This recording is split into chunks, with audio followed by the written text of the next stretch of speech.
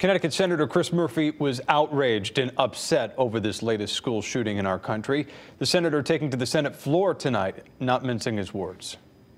I think about this first and foremost as a parent of a seventh grader and a fourth grader who are part of a generation that accepts as part of their childhood the risk of not leaving school at the end of the day because of a violent attack. That's the reality of being a kid in school today. I'm angry about it as an American, but I'm angry about it as a parent that my children have to go through active shooter drills because this has become a regular facet of being a child in America.